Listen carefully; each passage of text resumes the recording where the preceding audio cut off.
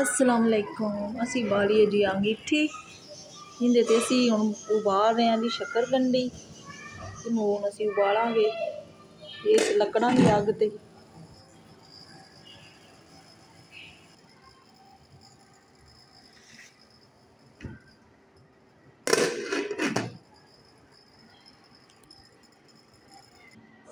ਇਹ ਸ਼ੱਕਰਕੰਡੀ ਉਬਲ ਗਈ ਜੇ ਸਾਡੀ।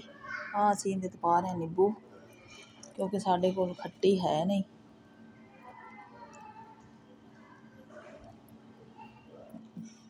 ਆ ਪਾ ਰਹੇ ਅਸੀਂ ਚਾਟ ਮਸਾਲਾ।